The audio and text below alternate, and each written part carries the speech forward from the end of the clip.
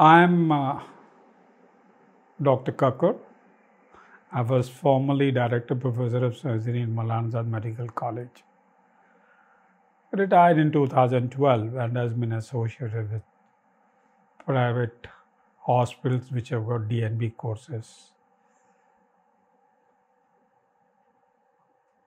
It's, it's always a pleasure to interact with the young friends like you who are in the initial stages of surgical career. Today you are residents. Sure enough, another few years, two, three, four years, you will be consultant and you will be sitting where I am sitting today. We're going to discuss a very common problem, a clinical evaluation of a patient with a goiter. Good old days when these fancy investigations were not available, radiological, biochemical, or nuclear medicine facilities were not available. The diagnosis used to be based on the clinical assessment of a patient.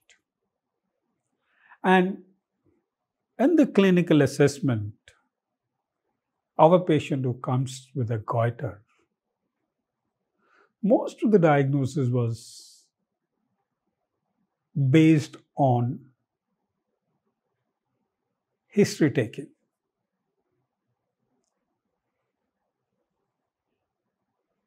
Goiter was visible.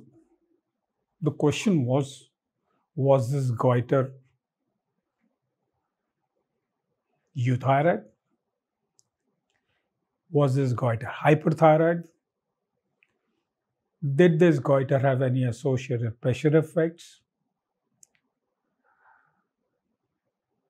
What could be the cause of the goiter? Was all based on a history taking supplemented with physical examination. When a patient comes to you or brought to you with a goiter, not only you take a history from a patient himself or herself, there are times when you feel it is better to ask the relatives or in case of children, ask the parents about this history. There are many things which a person himself may not be able to explain to you or answer you, which you can understand from patient's relatives, especially their behavior, especially their attitude, especially their how they have been doing the last few months or years, especially in children. You want to find out whether the patient got features of hyperthyroidism. Yes, weight loss in spite of good appetite, poor sleep, nervousness. They are very classical manifestation of primary hyperthyroidism. But in a child, may not be able to explain to you that he has lost a weight. It's, it's common that well, a child is growing, so he's losing a weight. Or an elderly person, 60 plus, a lady, who's got a goiter. He's not eating, yet she's lo- losing a weight. She's not taking interest in the surroundings. She was active, she's lately become inactive. She just keeps sitting. But these things can be better appreciated by the patient's relatives. So sometimes you have to ask a history, not only from a patient, but from patient's relatives, especially in hyper and hypothyroidism. Few things, what are the pressure effects? Of course, patient himself or herself has to answer the questions. You can diagnose compression effects by radiological investigation. But should you be doing investigations in all the cases, the fancy investigation? can't we diagnose some of these conditions on clinical history taking? As a patient, having taken a history, you get to get a vague idea. Is the patient is euthyroid? Is the patient hyperthyroid? As a surgeon, you don't come across a patient who is hypothyroid. Uh, they classically go to endocrinologist or to a physician. When a patient comes in the OPD for evaluation, the evaluation does not begin with examination of neck. Examination begins with the moment patient walks inside the OPD. How the patient's overall appearance is. What is the attitude? Is he fidgety? Is he restless? Is it is he looking all sides? He can't sit at a one place. And if he's sitting with you on a chair, is he fidgeting with the pen or the stethoscope or the pencil on the table? Or you notice that he has got involuntary movements of the hands. Or you look at his dress or or uh,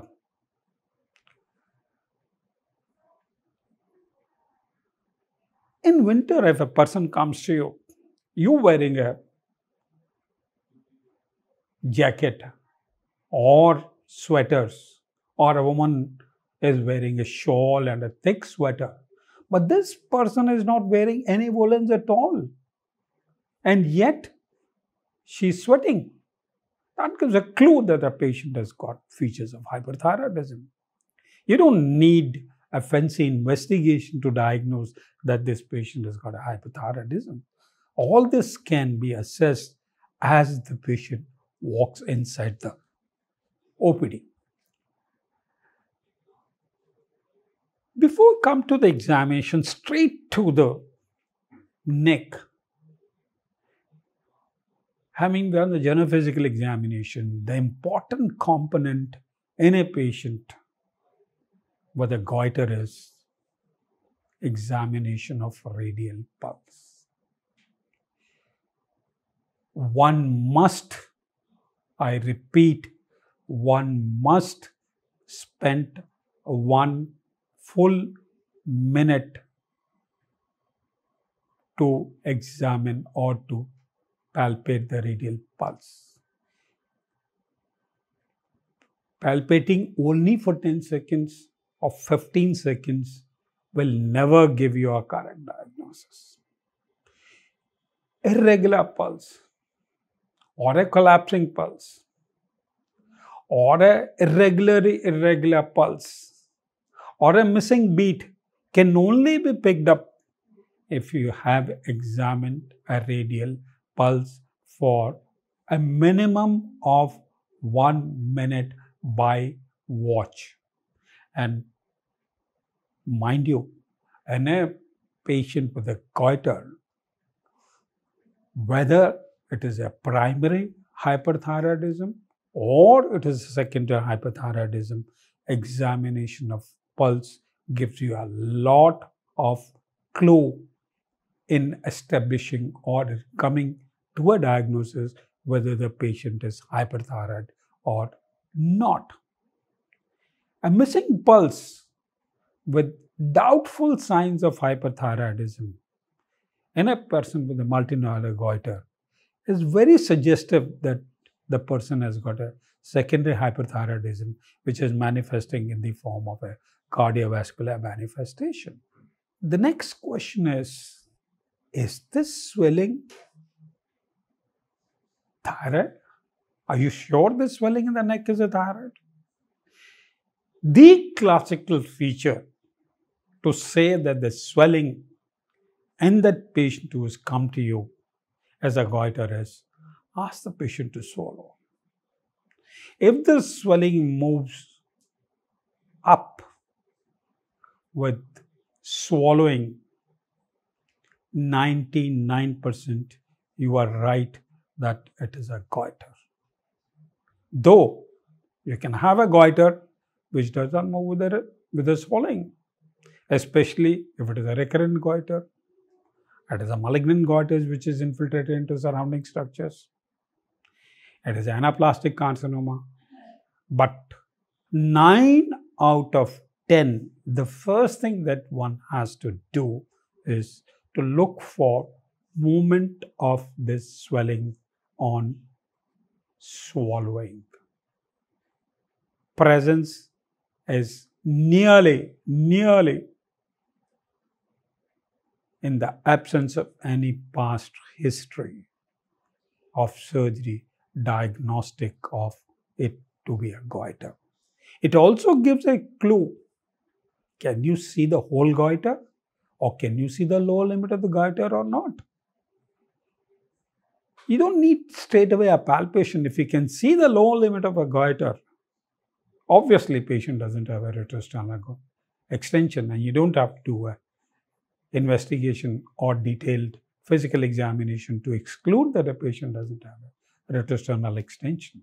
For palpation, it can be done from the front, but the best is to stand at the back of the patient, gently, passively flex the muscle so that the muscles and the deep fascia gets relaxed and it becomes easy to palpate the thyroid gland.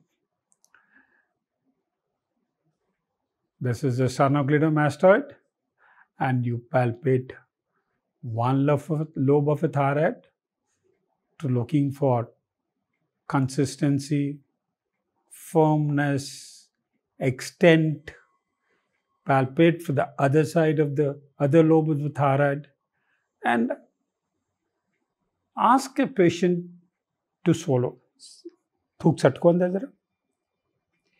To get to the lower limit of a thyroid swelling, which is very, very important, especially if you've got a person with a multinodular goiter. Having done the palpation of a thyroid from the back, you come back to the front. Sit in front of a patient nearly at the same level and look for the pressure effects of the thyroid, the, one of the important thing to look for is what's happened to this windpipe, that is the trachea. This is the thyroid cartilage, and this is the trachea. We know the thyroid gland is trapped on either side of the trachea. And you want to know whether this thyroid, if one lobe is big compared to the other, is it displacing a thyroid or not?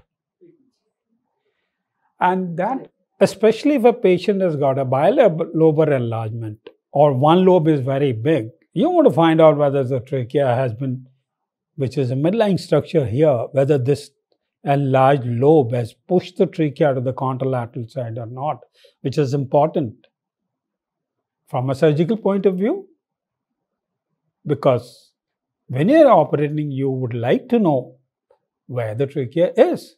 And the way to find out is trace the apple's Adam downwards, cross the hyoid bone, feel the trachea, and in the suprasternal notch, insinuate your finger between the anterior border of the sternocleidomastoid on one side and the trachea, and anterior border sternocleidomastoid and the trachea on the other side. And notice is the trachea in the midline or not.